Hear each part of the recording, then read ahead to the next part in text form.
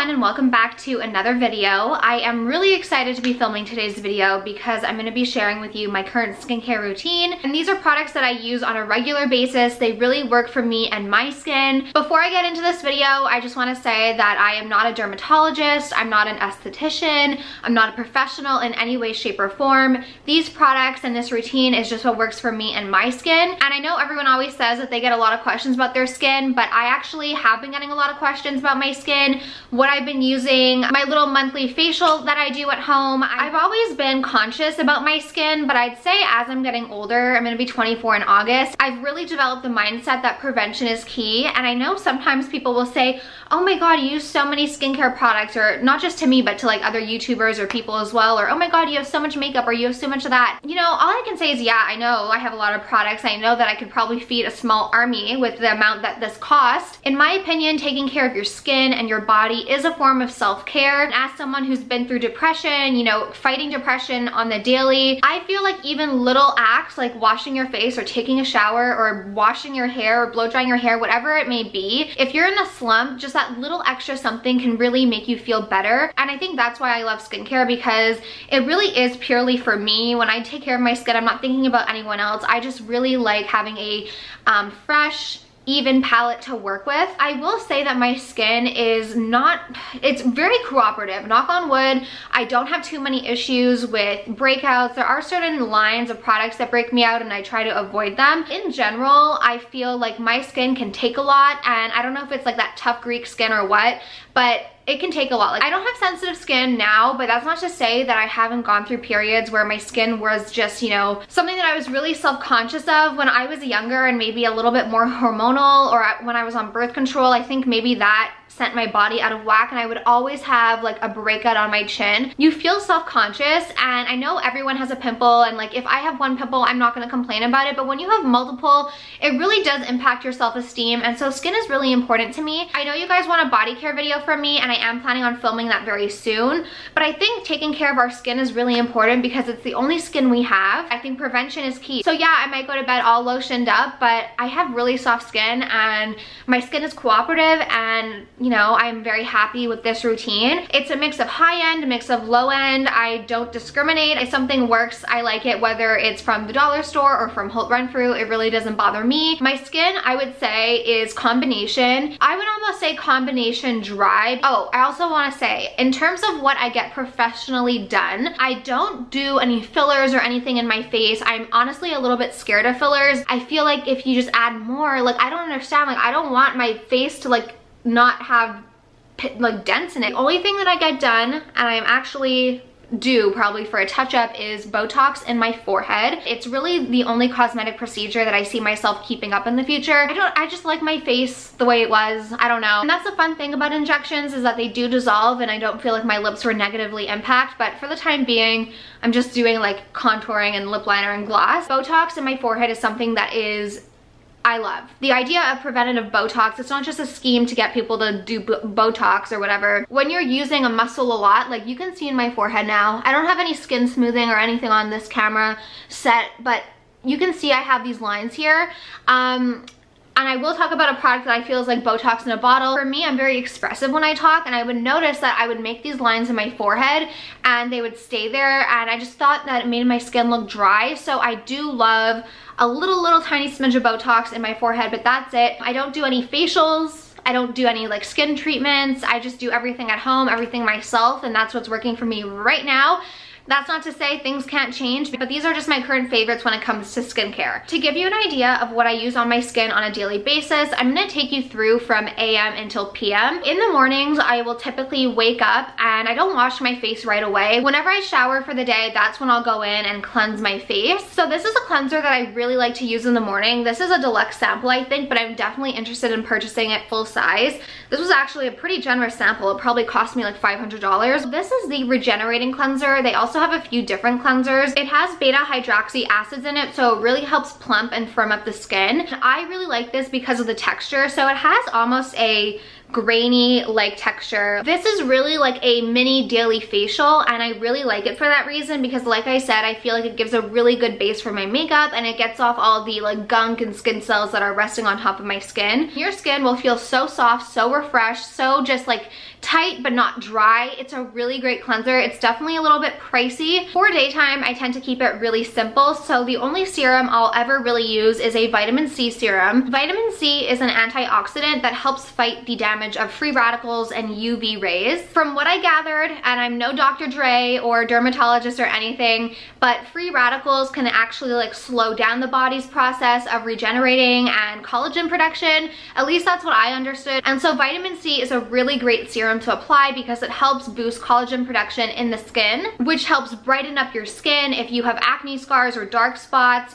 Vitamin C is a really great option for that. Whenever I put it on, I just feel like my skin just looks so glowy. I would say this is a good first serum to start with if you're just looking to add something new to your routine, but you don't wanna like go full on, like full throttle. Vitamin C is also not stable, so you might notice it change colors ever so often, but if you're using it, you should be able to get through a product before it starts to turn. But with that said, that's why when you're purchasing a vitamin C serum, you should always make sure it's in an opaque bottle so that way sun can't get through it or whether it's like a Miron glass, something like this. And another thing about vitamin C is there's a bunch of different kinds. I'm not gonna get too technical because again, I'm no professional, but if you find that your skin is irritated by one vitamin C, you can find other options so you can reap the benefits of vitamin C as well. The more affordable one that I have been loving recently is by Mad Hippie. What I really like about the Mad Hippie is number one, it is way more affordable than the ones that you can buy at Sephora, but it also has hyaluronic acid, so it's really moisturizing. This product is like an OG to me. I've been using it since I really started getting into my skincare. What's nice about the Drunk Elephant Vitamin C Serum is that it's packed with antioxidants, fruit enzymes to gently exfoliate, and something that's interesting about this serum is that it has what's called a reservoir effect, and allegedly your skin can still reap the benefits of the vitamin C serum for up to 72 hours, even if you wash or like rub it off. So I don't know how that works, but that's definitely something that's interesting. Overall, vitamin C is definitely something that I recommend everyone add to their skincare regime, and even though it has a lot of anti-aging benefits, number one, I don't think that you can start prevention too early. I don't think it should become an obsession where you're like,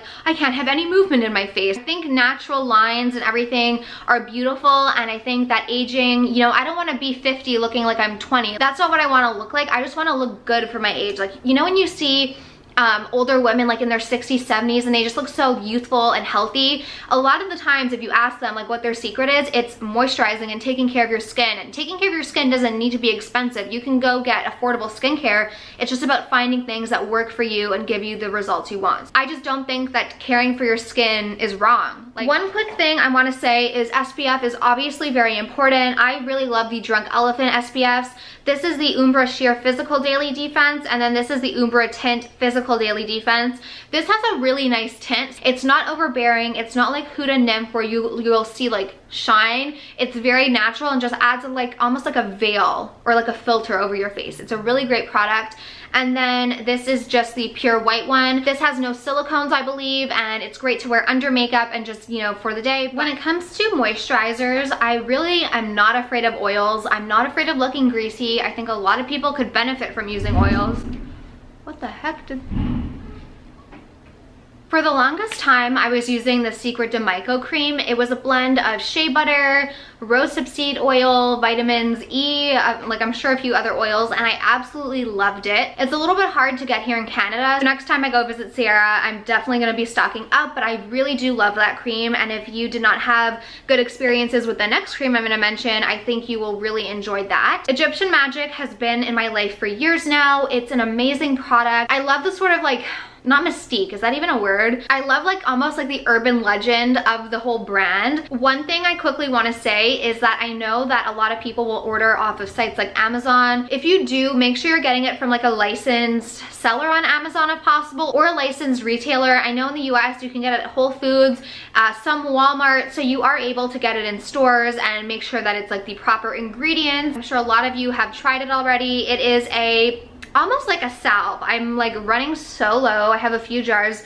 lingering, but this one's almost done. The way it sinks into your skin, like Vaseline will sort of like just stay on top, but these just melt into your skin and you wake up or you like go on your day and your skin just looks beautiful and hydrated and glowy and not greasy. At nighttime when I use this, I'll slather it on way thicker. It's made with 100% natural ingredients and it is, you know, an all around great cream for your face, for burns, for blisters, for anything, I would recommend this. If I was on a desert island and I could only bring one product, I would bring Egyptian Magic. It just has so many amazing healing benefits. I would use Egyptian Magic as a primer, like a moisturizer, but I never felt like I got it to look exactly the way I wanted. I don't want to give you the impression that it made my skin greasy because that's not what it was at all. I just wanted a way or a primer for my skin to feel a little bit more sticky, if that makes sense. I actually wanted something to make it feel a little bit more sticky, and I wanted to find a primer um, that would just like almost seal the Egyptian Magic in, but keep my skin glowy but still be a little bit sticky, if I'm making sense. This primer by NYX, NYX, whatever you wanna call it, this is their new Bare With Me Hydrating Jelly Primer.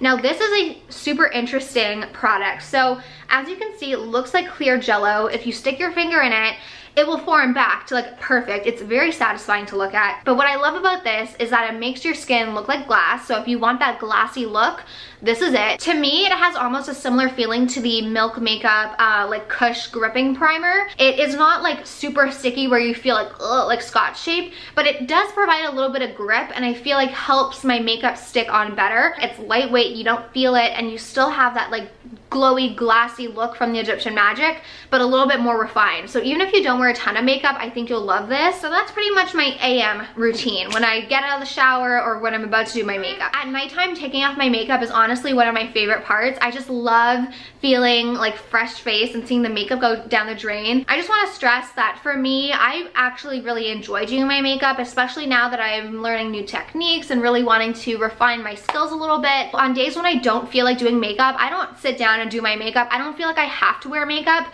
but I do enjoy the process. And honestly, as someone who does struggle with depression and anxiety, I sometimes feel like getting into that makeup chair is half the battle. And once I'm done with my makeup, I feel so much better. All right, so nighttime comes around or whenever I get home and I want to remove my makeup, these are the products that I always go to. So first thing, these makeup wipes. Oh my gosh, this is kind of like Signé's Milky Way case. So these um, I actually ordered on Amazon and they're basically a more affordable version of a makeup eraser. Now I do have authentic like original makeup erasers. These do the exact same thing. I like having about five to 10 of these at a time. That way I can bring some on vacation if I go away or to people's houses because I don't like dirtying their linens. I honestly don't know why people would still use makeup wipes. I feel like this gets off so much more. My favorite method of removing makeup is balm cleansers. The first one I'm gonna talk about is probably the more traditional of a cleansing balm. To me, the texture of a cleansing balm is really important. I don't want a cleansing balm that feels greasy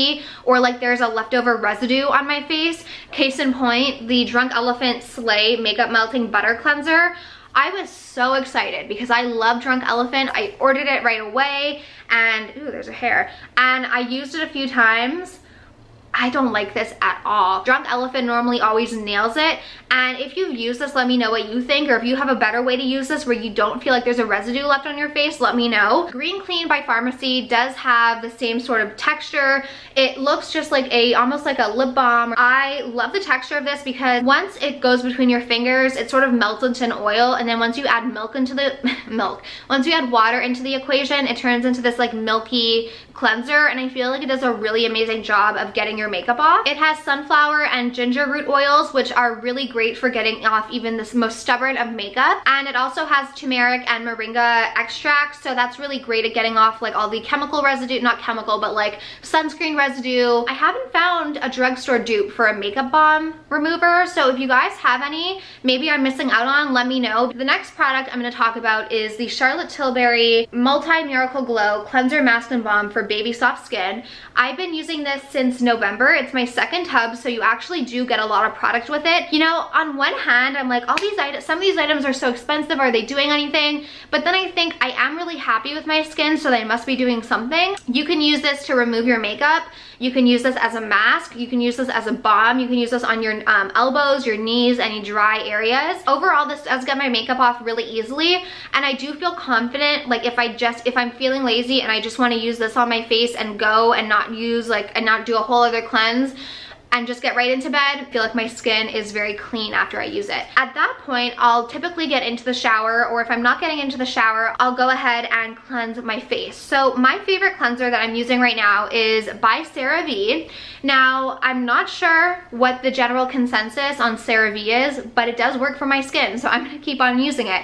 This is the foaming facial cleanser and it's for normal to oily skin. They also have a hydrating cleanser that is for normal to dry skin. So I'm definitely interested in trying that. It is a very uh, gentle cleanser and I've realized that for me personally, I don't, especially because I am removing my makeup prior to cleansing my face, I don't want a super intense cleanser. I just want something that'll cleanse my face of any leftover makeup and give me a smooth surface to work with. Even though this is for normal to oily skin and I have combination skin, this doesn't dry my face out. I never feel like my skin is tight or lacking moisture when I get out. So I feel like that's a really positive because even though it's the foaming facial cleanser and not the hydrating version, it still doesn't dry my skin out and it's so affordable. It's simple, but it works. And sometimes I feel like it's the best just to get back to basics. On days where I wear a little bit more makeup than I normally do, I do like to go in with a toner of some sort and I really like these witch hazel pads. People are divided when it comes to witch hazel. Some people think it's great for your skin, some people think it's terrible for your skin. As someone who used to rub rubbing alcohol, like pure rubbing alcohol on their face, I'm not kidding, um, I don't really have a leg to stand on when it comes to witch hazel and I did that because my Aunt Louise is in her 50s and she's been doing that since her teens and her skin is amazing but I figure witch hazel is a little bit more of a gentler version of that so I just have the original and I know that you can get it in liquid form, but I just like that it's already soaked. The pads are a little bit abrasive. They have like a crisscross pattern on it and it does a good job if I have any leftover dirt on my face. Um, it does a good job of removing it. It's also great to rub on mosquito bites or on sunburns. It's just more convenient and I don't have so many little cotton things lying around so I like this a lot more. At nighttime, I used to use a serum every single night. Now I kind of alternate one night on, one night off, whatever I feel like my skin kind of needs. I will say that consistency is really key when it comes to skincare. Um, with that said, a lot of my products have similar ingredients and kind of do the same thing, and I know how my skin reacts to it. So sometimes I'll do like one night this, one night that, one night retinol, one night that, and so far I haven't had any issues with my skin. I have a few different serums that I like to use at night, and a lot of them have AHAs and BHAs. Alpha hydroxy acids help exfoliate dead skin cells, promote cell renewal, treat hyperpigmentation, and reduce the appearance of fine line and wrinkles, and beta hydroxy acids help to reduce pore size and helps to make skin feel very supple and smooth. So I do like using a mix of AHAs and BHAs in my skincare. Probably my favorite serum for nighttime right now is the Honeymoon Glow. It helps to resurface, hydrate, and clarify the skin. It also has honey in the formula, so it does moisturize and honey is antibacterial, which is really nice as well. This is probably the one I use most often because I feel like it's just a good, like, you know, like it's just a good crew neck sweater. It's just something that I can use on my skin if it's, you know, having a moment or freaking out and I know it'll help calm my skin down. If my skin's in a good spot, it just helps like smooth and just tighten everything. It really is like a comfy crew neck of sweaters, this, uh, this serum. I love it. The next one is the Drunk Elephant TLC Framboos Glycolic Night Serum, and this is also an AHA and BHA blend. It's very lightweight, and it's said that this product actually helps enhance the other features of your skincare ingredients and helps it absorb better into the skin. This product refines and resurfaces your skin cells to help reveal brighter, smoother, more flawless looking skin. This is a really powerful serum, and I do really recommend it, but I just have a very special place in my heart for the Farmacy Honeymoon Glow Serum right now. Another skincare ingredient that I just want to touch on quickly is retinol. I'm sort of new to retinol. I have used the ordinary ones in the past. As I'm getting older, I feel like I'm able to really see the effects on my skin a little bit clearer. Drunk Elephant released their version of retinol and I have to say that is probably one of my standout products from Drunk Elephant. So when I said that some nights I will use retinol, some nights I'll use other ones, some nights I'll just focus retinol on my forehead and then just like do something else other places. The Drunk Elephant retinol is literally Botox in a little tube, but I really feel like the retinol is helping me prolong my visits to the doctor. Retinol is supposed to help like regenerate skin cells and it helps to reduce the appearance of fine lines, wrinkles, sun damage. It's just basically like almost like a little bit of a restart button for your skin. I've heard so many people talk about retinol over the years, but I never really gave it a fair shot and understood what it was supposed to do. And I also probably have a little bit more lines than I did like a few years ago. This, I swear, I'll put it on my forehead at night and give it a good coating and I will wake up in the morning and I will have way less lines in my forehead. Thinking of starting to use it every single night, but since we are getting into the summer months and we're planning on going up north a lot and going on vacation, I'm not sure if I want to like full-fledged go for retinol. Although I did read some studies where people will say, yes, it does accelerate the sun's like damage on skin, but a lot of studies say that it doesn't. But as always, I would recommend practicing safe sun and do what's best for you and your skin. What I really like about Drunk Elephant's retinol is that they actually recommend that you mix it with an oil because retinols can be really drying. It helps to make sure your skin is very, very moisturized. I feel like because I'm so heavy on the oil that I actually haven't experienced any peeling, itchiness, flakiness at all with retinol. I think like with retinol, the key is to really, really moisturize. So now I'm gonna talk quickly about my nighttime moisturizers. So at night, I will often use my Egyptian Magic, of course, but as some of you may know, I am also really, really into natural oils. I have a few that I really like on my face. I have so many oils and I will be doing an oil body care video soon for you guys. I looked up a lot of like ancient Greek beauty secrets and everyone said like oil, oil, oil, honey, honey, honey. So I feel like natural is sometimes best and my skin just really reacts well to these oils. I know a lot of people are scared of oils and all oils have different non-comedogenic ratings, but these are not pore clogging and I haven't experienced any issues with pore clogging. I recommend oils to everyone. I use oils every single day. I think more people need to be more hydrated. I love rosehip seed oil. I've been using it for a few years now on my skin. Rosehip seed oil is amazing for acne scars, stretch marks, basically anything that you want to fade. And it's also rich in antioxidants. My all-star oil that I would recommend to you guys is the carrot seed oil. I've been mentioning this a lot on my channel recently, but it's because I really believe in it and it's so affordable. Carrot seed oil is very rich in antioxidants. It's very rich in vitamins A and uh, E, I believe, vitamin C, has carotene. It is a powerhouse of an oil. I mean, okay, I'm not a professional, so don't take my word for it, but I love it. My best friend Sierra loves it, Mike loves it, Tony loves it, I love it. We all have different skin. We all have different skin issues.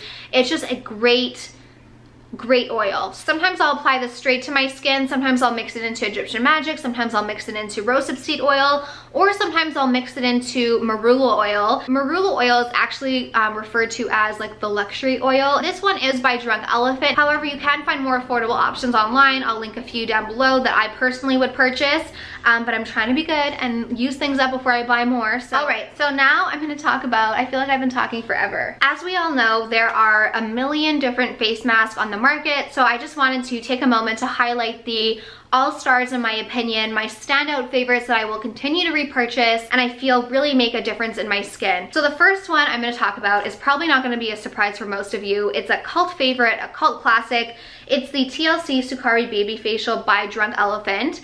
Now this is not available in Canada. If you can get your hands on this, I definitely suggest it. It pairs beautifully with other AHA, BHA products like the TLC. This is basically a facial in a bottle. It is pricey. I use it probably once every like week and a half whenever my skin just feels a little bit dull or I feel like I just need a little bit of an oomph in my skin. This mask is incredible. It's a pro quality AHA BHA blend. It resurfaces your skin by gently exfoliating and it helps to smooth out texture and tighten pores. This is a product I'm telling you, like if you are just like, oh, my makeup is not looking right. It's no matter what I do, my skin just isn't looking how I wanted it you need to try this or a similar product. The Peter Thomas Roth Pumpkin Enzyme Mask is great, but this is just the creme de la creme. I know The Ordinary has their dupe version. I hated it. It really, really burnt my skin. This one is a little bit more gentle. It has chickpea flour, I believe, so it's not as intense. There is a little bit of tingling, but it really doesn't hurt. It's definitely an investment, but as someone who does everything myself at home,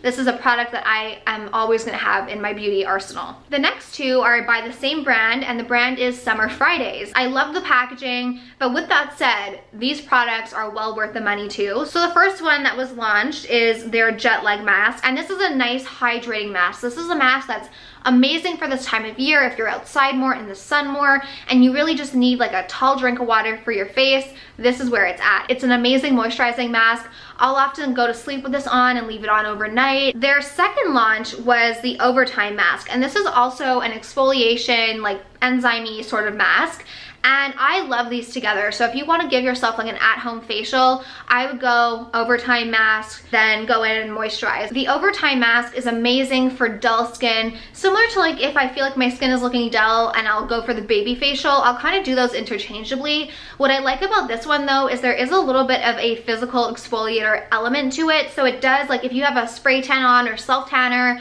or like a sunburn and you want to get off the dead skin, I do like having a little bit of that grit. I personally, like I know everyone's so anti St. Ives and Kylie Skin, I don't mind a little bit of a physical exfoliation. I think that they are very effective and do what they claim to do. Now, I just wanna quickly talk about another exfoliating product that I like to use about once a week or whenever I feel like my skin needs it. I don't overdo the exfoliation. I try and keep it pretty balanced. But this is another exfoliating product that I love. It's a little bit more pricey. It's the Essence Noir Polish by Nanette de Gaspé. While I do really enjoy this product, it is around $90 and I don't know if the benefits that are claimed to be in it like actually make a difference for my skin. However, what I do love about this is how finely milled it is. It almost feels like the finest, finest, finest sand. And I mean that in the best way possible. It really is great. And if you just have like built up makeup that if you feel like your skin is just like crusty and you need like an update and you just wanted like a fresh start on your face, this will really do it. And I also like it because it's thermal, so it feels a little bit warm when you put it on, and like massage it into your face. And sometimes what I'll do is like if I'm gonna be shaving my legs, I'll put this on, rub it in, and leave it on while I like shave and do everything. And they recommend that and I haven't had any issues. Will I repurchase it? Like if when I run out, I've noticed that my skin is just like gone haywire and this is the only thing that's changed, yeah. Just to be like transparent, I do use this really regularly and I am a fan of this product in general. And I love their cleanser too. It's pricey, but I did love their cleanser. All right, the last thing that I'm gonna get into, I was actually a little bit nervous to film because I, like I said, I'm not a professional, I'm not an esthetician. I'm gonna quickly go through my little skin treatment that I do pretty much every two weeks, um, between every week and a half, two weeks. And I call it like my facial at home and it's something that I think a lot of people would benefit from.